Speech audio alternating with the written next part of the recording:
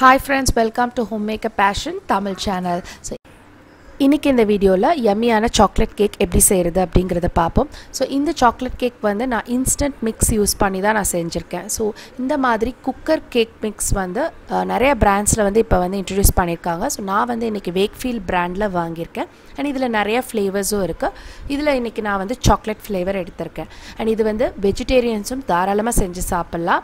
Eggless cooker cake mix தாங்க. And இது வந்து one seventy five grams packet mix இந்த கேக் செய்கிறதுக்கு அவன் தேவைப்படாத குக்கர்லேயே நம்ம செஞ்சிடலாம்.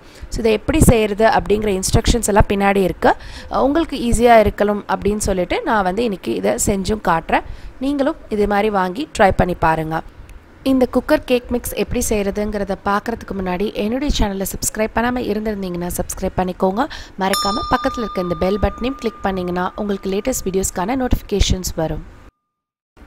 ஃபர்ஸ்ட் வந்து இந்த கேக் பண்ணுறதுக்கு அந்த கேக் மிக்ஸ் எல்லாத்தையுமே வந்து ஒரு பவுலில் வந்து ட்ரான்ஸ்ஃபர் பண்ணிக்கிறேன். ஸோ இது எல்லாத்தையும் ட்ரான்ஸ்ஃபர் பண்ண பிறகு நான் இது கூட வந்து ஒரு டேபிள் ஸ்பூன் அளவுக்கு குக்கிங் ஆயில் ஏதாவது ஒரு குக்கிங் ஆயில் வந்து இதில் சேர்த்துக்கோங்க. நான் வந்து இன்றைக்கி ஒரு டேபிள் ஸ்பூன் அளவுக்கு சேர்த்துக்கிறேன். அது கூட two by three cup measurement அளவுக்கு பால் வந்து சேர்த்துக்கிறேன். இந்த மெஷர்மெண்ட்ஸ் எல்லாமே வந்து கரெக்டாக எடுத்துக்கோங்க. அப்போனா தான் அந்த கேக்கோடைய அந்த சாஃப்ட்னஸ் அந்த டெக்ஸ்சர் டேஸ்ட் எல்லாமே வந்து நல்லா வரும். இப்போ இது எல்லாத்தையும் வந்து ஒரு விஸ்க்கு வச்சு நல்லா வந்து ஃபாஸ்ட்டாக வந்து நீங்கள் பீட் பண்ணணும். அப்படி பீட் பண்ணும்போது எந்த லம்ஸும் இல்லாத அளவுக்கு நல்லா பீட் பண்ணிக்கணுங்க. ஸோ நீங்கள் கையில் பண்ணுற மாதிரி இருந்தது அப்படின்னா ஒரு டென் மினிட்ஸ் அளவுக்கு நீங்கள் வந்து நல்லா பீட் பண்ணணும். இன்றைக்கி வந்து நான் வந்து ஹேண்ட் பிளெண்டர் யூஸ் பண்ணி தான் நான் வந்து மிக்ஸ் பண்ண போகிறேன் ஸோ மிஷின் அப்படிங்கிறதுனால இது வந்து ஒரு ஃபைவ் மினிட்ஸ் நான் பண்ணால் போதும். ஸோ இப்போ நான் பண்ணிவிட்டேன் அதுக்கப்புறம் உங்களுக்கு எப்படி வருது அப்படிங்கிறத காட்டுறேன்.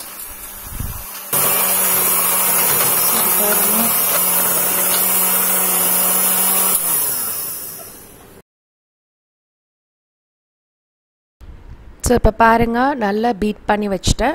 ஸோ இந்த பீட் பண்ண பிறகு எந்த லம்ப்ஸும் இல்லாமல் சூப்பராக பீட் ஆயிடுச்சு ஸோ கிட்டத்தட்ட ஃபைவ் மினிட்ஸ் நான் பீட் பண்ணியிருக்கேங்க அடுத்து இப்போ வந்து இந்த இதை பேக் பண்ணணும். ஸோ பேக் பண்ணுறதுக்கு நான் இன்றைக்கி குக்கரில் நம்ம காய் பருப்பெல்லாம் வேக வைப்போல அந்த செப்பரேட்டரை யூஸ் பண்ணியிருக்கேன். ஸோ அது வந்து பாத்திரத்தோட ஹைட் பார்த்திங்கன்னா கொஞ்சம் ஜாஸ்தியாகவே இருக்கும். ஸோ எப்பயுமே நீங்கள் பேக் பண்ணணும் அப்படின்னா கொஞ்சம் இந்த மாதிரி ஹைட்டான பாத்திரமாக வந்து நீங்கள் சூஸ் பண்ணிக்கோங்க. அது எந்த பாத்திரமாக இருந்தாலும் பரவாயில்லைங்க. ஸோ இப்போ நான் வந்து உள்ளே வந்து வெண்ணெய் தடவுறேன். ஸோ பட்டர் வந்து நல்ல இந்த மாதிரி சைட்ஸ்லேயும் நீங்கள் தடவிக்கணும் அண்ட் பேஸ்லேயும் நீங்கள் நல்லா அப்ளை பண்ணிக்கணும். அப்போனா தான் அந்த கேக் வந்து ஒட்டாமல் நமக்கு பேக் ஆகி வரும். இப்போ பட்டரை வந்து நான் எல்லா சைட்ஸும் வந்து தடவி ரெடியாக பேனை வச்சுருக்கேன். அடுத்து நம்ம ப்ரிப்பேர் பண்ணியிருக்கிற அந்த பேட்டரை வந்து இதில் ட்ரான்ஸ்ஃபர் பண்ணிடலாம். இப்போ இந்த பேட்டர் வந்து பேஸ் ஃபுல்லாகவே வந்து கவர் ஆகிற மாதிரி நம்ம ஊற்றிக்கணும் ஸோ அப்படி சரியாக கவர் ஆகலை அப்படின்னாலும் பரவாயில்லைங்க. நீங்கள் வந்து அந்த பாத்திரத்தை வந்து ஒரு ரெண்டு மூணு வாட்டிக்கு இந்த மாதிரி தட்டினீங்க அப்படின்னா அது எல்லா சைட்ஸும் ஈக்குவலாக வந்து ஸ்ப்ரெட் ஆகிடும் ஸோ இந்த மாதிரி பண்ணும்போது கேக் வந்து பேக் ஆகும்போது எல்லா சைட்ஸும் சமமாக பேக் ஆகும். அடுத்தது வந்து நம்ம இதை பேக் பண்ணுறதுக்கு நம்ம குக்கர் தான் யூஸ் பண்ண போகிறோம் இப்போ குக்கரில் வந்து நான் கிட்டத்தட்ட ஒன்றரை சென்டிமீட்டர் அளவுக்கு நான் தண்ணி ஊற்றிருக்கேங்க ஸோ வந்து நம்ம ஒரு ஸ்டாண்ட் வச்சு அது மேலே தான் நம்ம வந்து பேக் பண்ண போகிறோம் அந்த பாத்திரத்தை வைக்க போகிறோம் ஸோ இந்த ஸ்டாண்ட் வந்து முங்காத அளவுக்கு நம்ம தண்ணி ஊற்றி வச்சுக்கணும். சப்போஸ் இந்த ஸ்டாண்ட் வந்து உங்ககிட்ட இல்லை அப்படின்னா நீங்கள் கேஸ் ஸ்டவ்வில் இருக்கிற அந்த ஸ்டாண்டையும் நீங்கள் யூஸ் பண்ணிக்கலாங்க பேக் பண்ணுறதுக்கு ஸோ இப்போ வந்து நம்ம குக்கருக்குள்ளே தண்ணி ஊற்றிட்டோம் அடுத்து வந்து இந்த ஸ்டாண்டை வந்து நான் உள்ளே ப்ளேஸ் பண்ணிக்கிறேன். ப்ளேஸ் பண்ணிவிட்டு ஹை ஃப்ளேமில் வந்து இந்த தண்ணி வந்து கொதிக்க விடுறேன். கொஞ்சம் கொதி வந்த பிறகு தான் நான் வந்து பேக் பண்ண போகிற அந்த கேக் பேட்டரை வந்து நான் வந்து உள்ளே வைக்க போகிறேன் ஸோ இப்போ வந்து நல்லா கொதி வந்துருச்சு. இப்போ வந்து நம்ம பேக் பண்ண அந்த பேனை வந்து உள்ளே வச்சிடலாம். இது மேலே வச்சுட்டு அதுக்கப்புறம் இந்த குக்கரை வந்து லிட்டு போட்டு க்ளோஸ் பண்ணிடணும். வெயிட் வைக்கவே கூடாதுங்க. வைக்காமல் லிட்டை வெறும்னு க்ளோஸ் பண்ணி விட்டுருங்க. அதுக்கப்புறம் மீடியம் ஃப்ளேமில் அடுப்பை வச்சிடணும். வச்சுட்டு ஒரு தேர்ட்டி மினிட்ஸ் வந்து நம்ம வந்து இதை பேக் பண்ண விட போகிறோம் கேக் பேக் ஆகிறதுக்குள்ளே இது மேலே நம்ம கோட் பண்ணுற அந்த சாக்லேட் சாஸை வந்து நான் ரெடி பண்ணிடுறேன். ஸோ அது எப்படி செய்கிறது அப்படிங்கிறத பார்ப்போம். ஃபஸ்ட்டு அதுக்கு வந்து நான் ரெண்டு டேபிள் ஸ்பூன் அளவுக்கு கொக்கோ பவுடர் எடுத்திருக்கேன். பேக்கர்ஸ் பிராண்டுடைய கொக்கோ பவுடர் தான் நான் யூஸ் பண்ணியிருக்கேங்க. அதுக்கப்புறம் ரெண்டு டேபிள் ஸ்பூன் ஜீனி வந்து இதோட ஆட் பண்ணிக்கோங்க. இது கூட இது நல்லா மிக்ஸ் பண்ணுறதுக்கு ஒரு ஹண்ட்ரட் எம்எல் அதாவது டூ பை த்ரீ கப் அளவுக்கு தண்ணி வந்து நீங்கள் இதோட சேர்த்துக்கோங்க. சேர்த்துட்டு இது எல்லாத்தையும் நல்லா வந்து ஒரு ஸ்பூனை வச்சு நல்லா மிக்ஸ் பண்ணிக்கோங்க. மிக்ஸ் பண்ண பிறகு இதை வந்து அடுப்பில் வச்சுட்டு லோ ஃப்ளேமில் வந்து இதை வந்து கொதிக்க விடணும். இந்த சாக்லேட் சாஸ் செய்யும் போது நம்ம வந்து இதை மிக்ஸ் பண்ணிகிட்டே இருக்கணும். நம்ம வந்து விட்டுட்டோம் அப்படின்னா சீக்கிரம் அடி பிடிச்சிரும். அதனால் பக்கத்தில் இருந்து மிக்ஸ் பண்ணிக்கோங்க. ஸோ இதோட கன்சிஸ்டன்சி பார்த்தீங்கன்னா இப்போ நல்லா தண்ணியாக இருக்குது இது வந்து கிட்டத்தட்ட ஒரு ஃபிஃப்டீன் டு டுவெண்ட்டி மினிட்ஸ் நீங்கள் வந்து கொதிக்க விட்டீங்க அப்படின்னா அது நல்லா திக்காக ஆரம்பிச்சிடும் ஸோ உங்களுக்கு திக்கான கன்சிஸ்டன்சி வேணும்னா நீங்கள் அந்த ஸ்டேஜ் வரைக்கும் நீங்கள் கொதிக்க விட்டு நீங்கள் எடுத்துக்கோங்க. இன்றைக்கி நான் வந்து கொஞ்சம் திக்கும் இல்லாமல் ரொம்ப லிக்விடும் இல்லாமல் நான் அந்த நடு ஸ்டேஜில் தான் நான் எடுக்க போகிறேன் ஸோ இப்போ பார்த்தீங்கன்னா நல்ல அந்த ஸ்டேஜ் வந்து வந்துருச்சு. நல்ல கொதி வந்து அந்த ஸ்டேஜ் வந்துருச்சுங்க. ஸோ இந்த ஸ்டேஜில் வந்து நான் வந்து அடுப்பை ஆஃப் பண்ணிடுறேன். ஸோ இந்த சாஸ் வந்து இப்போ நம்ம ரெடி பண்ணி வச்சிட்டோம். அடுத்து நம்ம குக்கரில் வந்து கேக் எப்படி பேக் ஆகிருக்கு அப்படிங்கிறத நம்ம பார்ப்போம்.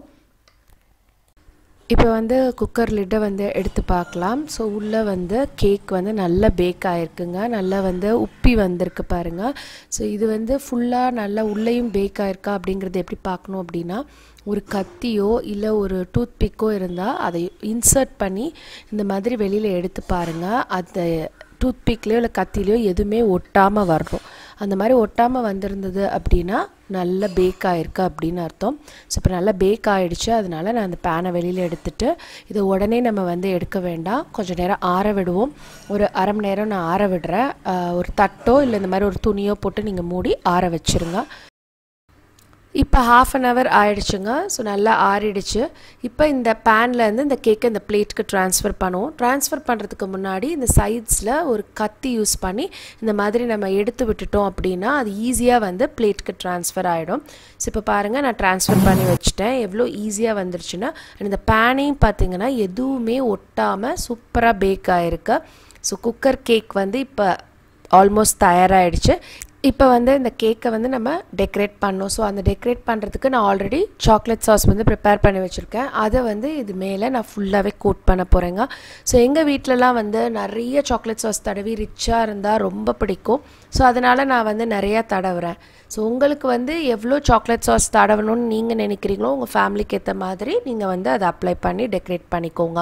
அண்ட் இது கூட இன்னும் கொஞ்சம் வந்து நல்ல அழகாக தெரியணும் கேக்குங்கிறதுக்காக நான் வந்து சாக்கோ சிப்ஸ் என்கிட்ட இருந்தது. ஸோ அதை வந்து யூஸ் பண்ணி நான் இதை வந்து டெக்கரேட் பண்ணிக்கிறேன். உங்ககிட்ட சாக்கோ ஸ்ப்ரிங்கிள்ஸ் இல்லை டூட்டி ஃப்ரூட்டி இல்லை அந்த மாதிரி இருந்தது எதாவது நட்ஸு அது மாதிரி கூட நீங்கள் யூஸ் பண்ணி இதை டெக்கரேட் பண்ணிக்கலாம். ஸோ இப்போ வந்து யம்மியான சாக்லேட் குக்கர் கேக் வந்து ரெடி ஆயிடுச்சுங்க. ஸோ ரொம்ப ரொம்ப பார்க்கவே ரொம்ப அழகாக இருக்குது ஸோ இந்த கேக் வந்து எப்படி இருக்குது அப்படிங்கிறதையும் நம்ம பார்ப்போம். ஸோ இப்போ நான் ஒரு பீஸ் வந்து கட் பண்ணி வச்சுருக்கேன். இது பாருங்கள் எவ்வளோ சாஃப்டாக இருக்குது நம்ம அமைக்கி பார்க்கும்போதே உங்களுக்கு தெரியுது. அதே மாதிரி இதை சாப்பிட்டு பார்த்தேன் ரொம்ப ரொம்ப டேஸ்ட்டாக இருக்குங்க. ஸோ கண்டிப்பாக வீட்டில் எல்லாருமே ட்ரை பண்ணி பாருங்கள் இந்த வீடியோ பிடிச்சிருந்தா உங்கள் ஃப்ரெண்ட்ஸ் அண்ட் ஃபேமிலியோடு ஷேர் பண்ணிவிட்டு என்னுடைய சேனலை மறக்காமல் சப்ஸ்கிரைபும் பண்ணிவிடுங்க